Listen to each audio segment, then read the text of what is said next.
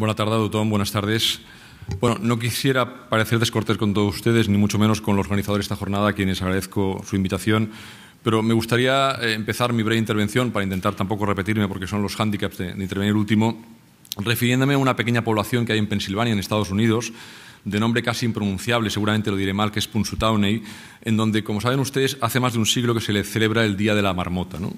Eh, se observa el comportamiento este, de este, animal cuando sale a hibernar el 2 de febrero y según lo que haga este animal, pues se produce si el, invierno va a durar cuatro o cinco semanas. Esta tradición, como saben también algunos de ustedes, los que sean eh, cinéfilos, fue, fue, trasladada a una película que en nuestro país se tituló Atrapados en el Tiempo, que creo que interpretaba Bill Murray. Y como saben también ustedes, al día de la marmota se le define como esa sensación en la cual los días se repiten todos con el mismo contenido sin solución de continuidad. Con el tema que nos ocupa hoy, el de la planta judicial, nos sucede un poco lo mismo. ¿no? Llevamos años y años hablando del tema, siendo conscientes, siendo conscientes de que sirve muy poco pues primero, ni hay voluntad política de momento para someterse al cambio, ni tampoco, y me incluyo por supuesto los procuradores, nadie, nadie está dispuesto a renunciar a nada aún sabiendo que con pequeñas renuncias, con pequeñas renuncias se podría obtener una mejor justicia y se podría cambiar el modelo que tenemos actualmente. Curiosamente, lo ha dicho creo que Luis Rodríguez, la primera persona que ha tenido la palabra hoy, que tenemos el mismo número de partidos judiciales que, tenemos en el, que teníamos en el año 1870. Yo creo que ante este, ante este panorama, la primera pregunta que debemos hacernos todos, antes de hablar de modelos, es preguntarnos si estamos satisfechos con el actual modelo de justicia que tenemos. ¿no? Einstein, que no hablaba de justicia, pero sí que tenía algunas frases, yo creo que, que nos ayudan mucho, decía que un hombre feliz, un hombre feliz está demasiado satisfecho con el presente como para obsesionarse con el futuro. ¿no? Yo insisto en la pregunta, ¿estamos nosotros satisfechos con la, con la justicia que tenemos actualmente? Yo creo que ninguno de los aquí presentes siendo, siendo mínimamente realistas, nos podría decir, sin querer caer en el conformismo, que nuestro sistema judicial, nuestra admisión de justicia, funciona adecuadamente. Y fíjense, fíjense que les digo adecuadamente para no hablar del funcionamiento pésimo al que aludió el presidente del Tribunal Supremo y del Consejo General Judicial hace escasamente un año en su intervención ante el Congreso de los Diputados. Si no funciona adecuadamente, convendrán conmigo que hemos de tomar medidas, pero medidas que sean realmente efectivas, medidas que no se improvisen, medidas que cuenten con el adecuado respaldo económico para poder ser implementadas con éxito y que no nazcan muertas como muchas de las reformas que se hacen en nuestro país en materia de justicia. Antes de hablarles del planta judicial, déjenme describirles un poco para saber al camino que deberíamos llegar, bajo mi modesto punto de vista, el actual estado de la justicia. Yo creo que son muy pocos o serían muy pocos los operadores jurídicos a los que se consultase y que pudiesen decir en el momento actual que nuestra organización de justicia es una administración de justicia eficaz en un país que pretende ser moderno en el siglo XXI. No voy a entrar en estadísticas que, saben ustedes, son muy frías, pero también son muy concluyentes a la vez. Y además, según cómo se expliquen, a veces no son muy bien interpretadas o crean algunos malos entendidos. Pero está claro, está claro que en la mayoría de los casos los tiempos de respuesta actuales en nuestros órganos judiciales son cuanto menos mejorables. La atención a los ciudadanos y a los profesionales tampoco es lo mejor y lo más importante, la coordinación, la necesaria coordinación entre las distintas administraciones públicas deja bastante que desear. Yo sinceramente creo, ya se ha dicho ya por algunos de los ponentes, que la apuesta por el sistema de órganos unipersonales se ha demostrado totalmente ineficaz y a día de hoy está totalmente superada. Se tramitan los procedimientos de forma que todos conocemos como pequeños reinos de taifas, con la diferencia que actualmente en estos reinos, en vez de tener un rey, a veces tenemos dos. ¿no? Es el orden que hablaba antes Luis Rodríguez. El funcionamiento de cada órgano judicial depende en muchas ocasiones de la responsabilidad profesional de cada uno de sus integrantes, habiendo injustificables diferencias de tramitación de los mismos procesos, incluso entre órganos judiciales del mismo partido judicial. Tenemos la situación a veces de que tenemos un juzgado que tramita perfectamente al día, los funcionarios hacen un esfuerzo tremendo y el juzgado de al lado, sin saber motivos aparentes, es un auténtico desastre. Tu suerte muchas veces va a depender de lo que diga un programa informático cuando reparta tu demanda y te la reparta al 3 o al 333. No hay tampoco efectivos mecanismos de control interno que puedan atajar rápidamente injustificados retrasos o disfunciones en la tramitación de los procesos sin que tampoco, sin que tampoco la estructura jerárquica actual sea capaz de tomar acuerdos o de tomar decisiones de forma inmediata para exigir a cada uno el estricto cumplimiento de sus obligaciones. todos son buenas palabras, pero nos quedamos en ocasiones con algunas palabras y nada más. Es también lo que hablaba, que estoy absolutamente de acuerdo, el magistrado Luis Rodríguez, con la falta de responsabilidad. Tenemos a jueces y funcionarios desmotivados a veces por el exceso de trabajo y también por la ausencia de una carrera profesional en la que se atiendan los méritos de cada uno de ellos conforme al esfuerzo que se hace y no únicamente por criterios de antigüedad. Hay funcionarios, la inmensa mayoría de funcionarios judiciales, que hacen tremendos esfuerzos a diario y sin que esa implicación les sea reconocida adecuadamente ni tanto a nivel económico ni de carrera profesional. Y en cambio hay unos pocos funcionarios, lo digo con el máximo respeto, con muy escaso o nulo compromiso, con una evidente falta de preparación, que nadie sabe cómo han podido entrar en la misión de justicia, pero que todo el mundo sabe que nunca van a salir de ella. Nuestra misión de justicia lleva décadas, lleva décadas inmersa en una inercia que yo creo que es todo lo contrario a una administración moderna, eficaz, sin capacidades de subburocratización, con una cultura excesivamente corporativista en la que también, por supuesto, incluye a los profesionales y que a veces solo tiene ojos para sí misma. Me consta, por ejemplo, el esfuerzo del Departamento de Justicia con la reciente perdonen, creación de los equipos de evaluación y de mejora continua para intentar mejorar la gestión diaria de los juzgados pero parece tampoco que ha sido bien entendida esta, iniciativa y que todo se ve como ganas de inspeccionar sobre algo que teóricamente no es de su competencia. Mientras tanto, mientras tanto, hay que decirlo, ya sé que no es políticamente correcto, pero los mecanismos actuales de inspección han demostrado su más absoluto fracaso y si quieren luego en el turno de preguntas les pongo unos cuantos ejemplos. Públicamente pedimos el pasado 26 de mayo ante el ministro de Justicia, ante todas las autoridades judiciales de Cataluña, un esfuerzo, un mayor esfuerzo de coordinación al respecto y mientras se ponen de acuerdo, pues seguramente seguirán pasando los, los meses con juzgados sin personal que tienen pendientes miles de escritos para proveer, sin miles de escritos para proveer y no va a pasar absolutamente nada. ¿Y la unificación de criterios? ¿Qué se ha hecho la unificación de criterios? La última reforma de la Ley Orgánica del Poder Judicial, recuerden, insistió en reformar estos mecanismos de unificación de los que hablaba el artículo 264 de la Ley Orgánica del Poder Judicial. De momento, ¿qué se ha hecho? Pues no se ha hecho nada o prácticamente nada. Es verdad que en breve se pondrá una iniciativa al respecto liderada por el presidente de la Audiencia Provincial de Barcelona. Ejemplos de Ineficacia por falta de unificación de criterios, yo creo que todos los que estamos aquí presentes tenemos unos cuantos. ¿no? Ineficacia que se traduce en una luz de recursos de apelación eh, que probablemente se evitarían, se evitarían con una mayor seguridad jurídica que ahora no tenemos precisamente por esa disparidad de criterios. Estamos desarrollando, también se ha hablado aquí, con más de 10 años de retraso, sin más de 10 años de retraso, en algunos partidos ni siquiera ha empezado a caminar el nuevo modelo de oficina judicial aprobado en diciembre del año 2003, con resultados siendo generosos, siendo generosos, muy poco esperanzadores. Ya sé, cuando decimos esto, hay gente que se ofende porque parece que no, queramos reconocer los esfuerzos que están haciendo al respecto. Por supuesto, por supuesto que nosotros los procuradores reconocemos los esfuerzos, pero yo les remito a los ejemplos de Cornellá, Sant Boi, El Prat, Santa Coloma de Gramenet, que verán que estos esfuerzos de momento son del todo insuficientes.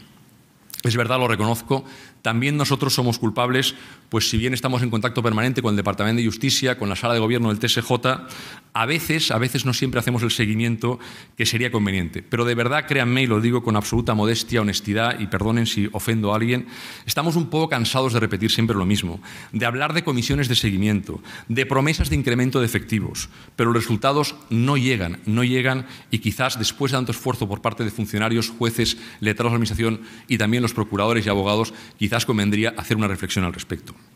Yo creo que quizás tengamos que replantearnos este modelo de nueva oficina judicial, diseñarlo con la participación de todos los operadores jurídicos, en especial a los jueces, a quienes, en mi modesta opinión también, se les ha aportado demasiado, se les ha apartado demasiado de las decisiones de cómo diseñar una oficina judicial. Y entro ya en materia. Ante esta situación, ¿qué hacemos? No? Yo creo que lo primero que hemos de hacer es definir si queremos cambiar la situación. Y yo creo que todos estamos de acuerdo, se ha hablado aquí, en que todos estamos de acuerdo en la necesidad de cambiarlo. Parece claro que el actual modelo de partido judicial ha sido absolutamente superado y no tiene ningún sentido mantener los 431 partidos judiciales de los que disponemos en la actualidad.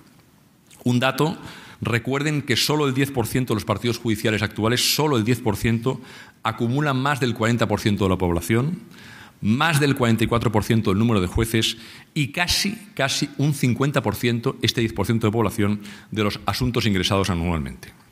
Segunda pregunta muy importante. ¿Estamos dispuestos a hacer este cambio? Tercera pregunta, a la que supongo han venido ustedes aquí a escucharnos. ¿Cuál es la más difícil? ¿Cuál es el modelo a seguir? Y la cuarta pregunta, una vez decidido, saber si tenemos medios para implementarlo con éxito para que no suceda lo mismo que con otras experiencias, algunas muy recientes como las que hemos tenido o hemos padecido con la creación de los juzgados eh, eh, provinciales para atender las cláusulas suelo, en donde la improvisación ha estado a la orden del día y confiemos que el compromiso, igual es mucho confiar del Ministerio de Justicia y del Consejo General Poder Judicial, pues que van a revisar periódicamente su funcionamiento tenga alguna solución. Yo les invito a ustedes que, por ejemplo, se acerquen a la undécima planta del edificio C de los juzgados de primera instancia y vean a sus compañeros funcionarios en unas dos mesas reducidas con demandas que casi ni se les ve, pobrecitos, eh, tramitando estas demandas en un juzgado provincial. Yo creo que si, esto, si esta es la solución que la justicia ofrece a los problemas de la sociedad, señores, tenemos un grave problema. Al punto primero, si hemos de cambiar, ya creo que hemos dicho estamos todos de acuerdo. Al segundo, al segundo, estamos dispuestos a hacerlo, estamos dispuestos a hacerlo. Aquí hay más dudas, ¿no? A mí, perdonen, eh, no quiero ofender tampoco a nadie, pero el, hecho de que estamos dispuestos a hacerlo me recuerda un poco a, los católicos. Yo soy católico con el tema del cielo. Todos queremos ir al cielo, pero de momento nadie quiere ir. Ya iremos, pero de momento nadie quiere ir. Pues esto es un poco lo mismo. Queremos cambiar el modelo de la justicia, queremos cambiar el sistema de los partidos judiciales, la planta judicial. Sí, pero cuando llega el momento de diseñarlo, todos le vemos problemas. Entro en el tercero. Entro en el tercero, quizás el más importante. Yo creo que parece pacífico, parece pacífico por todas las comisiones de expertos que ha citado el señor Luis Rodríguez Vega, que han estudiado en profundidad la necesaria reforma de la planta judicial sin, ser, eh, sin repetirme, año 2001 ya se empezaba a hablar con el Pacto de Estado para la Reforma de la Justicia, como ha dicho Luis, la Comisión de Expertos del año 2010, luego el informe del Consejo General Por Judicial del año 2012, luego el intento fallido del Gobierno de cuando estaba el ministro, me parece que era Ruiz Gallardón, de también una reforma. Todo esto ha fallado, pero todos han coincidido, todos han coincidido en la necesidad de optar por el sistema de los tribunales de instancia y otros, otros, aún manteniendo este sistema, han optado también, como ha dicho el, juez de paz que, ha intervenido en primer lugar, por la creación igualmente de una justicia de proximidad. Destacar brevemente y muy rápidamente algunas de las propuestas recogidas en el año 2012 con las que yo al menos personalmente coincido en, en bastantes puntos. Primera necesidad, la de fijar unas bases de una organización territorial básica sobre la que luego puedan implementarse, y es muy importante esta palabra, luego puedan implementarse de manera flexible ¿eh? distintos modelos, tribunales de instancia, nueva oficina judicial, mantenimiento de servicios comunes en todos los partidos judiciales, unidades administrativas. Segundo punto, una premisa básica para la reforma. Se ha dicho en varias ocasiones aquí, mejorar, mejorar la calidad del servicio público y la atención al ciudadano. Tercera cuestión, muy polémica, racionalizar la circunscripción judicial conforme a criterios estrictamente, estrictamente objetivos y predeterminados. Punto también premisa básica, creo que por todos compartida, o quizás alguno de los intervinientes no lo ve tan claro, tender a la especialización, al menos en lo civil y en lo penal, con la consiguiente separación de jurisdicciones. Y luego también que todos los partidos judiciales, todos los partidos judiciales dispongan al menos de servicios de apoyo básico a la actividad judicial y atención al ciudadano. Y por último, la creación de servicios comunes también procesales de ejecución eh, eh, y, de, prácticas actos de comunicación en todos los partidos judiciales. Las premisas para seguir estas bases. Primera premisa, muy polémica. La atención, la atención y la proximidad de la justicia al ciudadano no puede medirse en kilómetros. Hoy en día yo creo que no puede medirse en kilómetros. Yo creo que todos querríamos tener un juzgado en la puerta de nuestra casa, pero actualmente es imposible, es imposible. Yo creo que la atención hay que medirla en servicio. Se ha puesto aquí algún ejemplo del tema de la salud. Yo creo que está muy claro que cuando tenemos una asistencia de urgencia, todos tenemos el CAP o tenemos el hospital eh, eh, más próximo, pero hay que reconocer que para determinadas cuestiones de temas de atención especial se tiene un hospital de cabecera que a veces, nos guste o no, está en las principales eh, mm, capitales de provincia o en determinadas comarcas que, por el número de habitantes, tienen ese servicio. Otra premisa eh, básica, el desplazamiento de los ciudadanos al juzgado y su presencia en las oficinas administrativas ha de circunscribirse a los supuestos estrictamente necesarios, facilitando la comunicación telemática y también el uso de las nuevas tecnologías, esa videoconferencia a la cual algunos les tienen alergia, pero desde luego la, efectividad de la videoconferencia eh, yo creo que se ha, demostrado en los últimos tiempos como un medio de ahorrar desplazamientos al ciudadano. Quizás los jueces en el turno de preguntas nos pueden decir que no hay la proximidad, la inmediación que les facilite conocer o, tener em, mm, la prueba de forma más directa, pero yo creo, insisto, que en las en el siglo XXI todos estos medios han de ser mucho más habituales. Y luego, muy importante también, y sigo con el criterio de la flexibilidad, tener en cuenta las circunstancias excepcionales que aconsejen, aún a pesar de redistribuir los partidos judiciales, mantener, mantener la circunscripción territorial, eh, a pesar de, por ejemplo, no alcanzar el número de población deseada para la creación de un partido judicial, que yo creo que estaría alrededor de los 100.000 habitantes. Todas estas cuestiones, lógicamente, se ha dicho también aquí, tienen bastante oposición. La primera oposición, pues, de los municipios. ¿no? Incluso me consta que hay una resolución del Parlamento de Cataluña en la que de forma unánime eh, se mostraron absolutamente contrarios a la propuesta que se hizo de redistribuir o de, reformar el número de partidos judiciales. ¿no? se entiende que es la pérdida de un servicio esencial para el ciudadano y que se está alejando la justicia del ciudadano. La segunda oposición por parte de los profesionales, abogados y procuradores, muy legítima también, al entender que ese desplazamiento pues, eh, va a, perjudicar no solo a los ciudadanos, sino también a los profesionales que ejercen en esos partidos judiciales. Tercera oposición por parte de los funcionarios, muy legítima también. Esa redistribución puede provocar a los funcionarios una, una movilidad que en principio no estaba prevista. Y luego también una cuestión económica, como se ha dicho, creo que lo ha dicho el decano de Manresa, y también eh, el magistrado Luis Rodríguez Vega, el tema de la cuestión económica, el abandono de servicios. No tiene sentido hoy en día que cuando nos hemos gastado miles de millones de euros en crear estructuras judiciales en determinados partidos judiciales, es abandonarlas. ¿no? Yo creo buscando soluciones mi propuesta, y mi propuesta se la voy a dar no como decano del Colegio de Procuradores de Barcelona ni como presidente del Consejo de Colegios de Procuradores de Cataluña, porque diga una cosa u otra voy a ser criticado seguramente por parte de mis propios colegiados, sean de fuera de Barcelona o sean los propios de Barcelona, sino darles mi modesta opinión como un profesional que lleva más de 30 años ejerciendo eh, como procurador. ¿no? Yo de entrada tengo que decirles que no creo, no creo en que la solución pase ni mucho menos por ser tajante y de apostar simple, simple y llanamente por la concentración de órganos judiciales en un partido provincial único. Pero sí que creo, sí que creo que hemos de buscar un cambio y como decía, por ejemplo, eh, Luis antes, hay que mantener la apuesta eh, por, siguiendo el sistema de veguerías, con estas, estas siete veguerías eh, en, el, sistema de distribución en Cataluña, apostar por la creación de los tribunales de instancia y buscar, perdónenme la expresión, una especie de mix entre estos tribunales de instancia con criterios, insisto, lo he dicho ya por cuarta vez, muy flexibles, en los cuales también se permitiese mantener la presencia judicial en los partidos actuales, aprovechando y coordinando mucho mejor los recursos, conservando determinadas estructuras en determinados partidos que por su volumen de litigiosidad así lo aconsejen. Yo creo que esto es muy fácil, muy fácil de comprobar qué partidos judiciales por volumen de litigiosidad requieren del mantenimiento de sus estructuras y también que estos partidos judiciales, estos perdón, tribunales de instancia, permitiesen actuar eh, de forma desplazada. Mm, yo estoy de acuerdo con el ejemplo que, ha citado Luis antes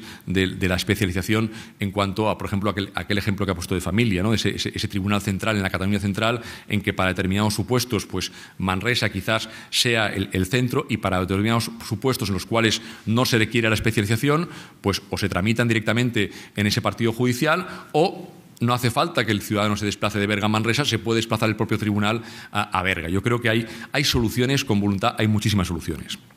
Luego creo importante, y voy acabando ya, hay que apostar por la superespecialización. Yo creo que nadie, nadie puede negar hoy en día el resultado de los juzgados de los mercantiles, especialmente, por ejemplo, en Barcelona. Yo creo que ha sido una apuesta dualmente que se ha demostrado, eh, mm, vamos, que, ha de tender a esa especialización. E insisto, el ejemplo de los juzgados de mercantil yo creo que nos tendría que motivar a todos. Igualmente, y estoy de acuerdo con lo que ha dicho la primera persona que ha intervenido, ya sé que es pedir mucho, es una carta a los reyes eh, con, muchos requisitos, entre ellos económicos, el crear una justicia de proximidad para aquellos asuntos menores. Es decir, limitemos para determinados partidos judiciales con menos de, 50.000 habitantes o, menos de 100.000 habitantes eh, una justicia de proximidad que pueda atender a los asuntos menores la cuantía no lo sé si está en 4.000, 5.000 o 10.000 euros, para asuntos de desahucios de arrendamientos que sean fáciles de tramitar, un desahucio por falta de pago, para asuntos también, como ha dicho Luis, en materia de familia que sea mutuo acuerdo o incluso para asuntos de jurisdicción voluntaria. Yo creo que a veces que tanto nos gusta compararnos con los países de nuestro entorno, veamos el ejemplo de Francia. En Francia, con la justicia municipal que tramita asuntos de hasta 4.000 euros y asuntos de, familia de mutuo acuerdo y también eh, asuntos en los cuales eh, se tratan cuestiones de arrendamientos menores, ha funcionado perfectamente bien. O, por ejemplo, el ejemplo de Alemania con los Anserich en poblaciones de unos 20 o 25.000 habitantes que tienen competencias de reclamaciones hasta 5.000 euros, también familia mutuo acuerdo y arrendamientos urbanos.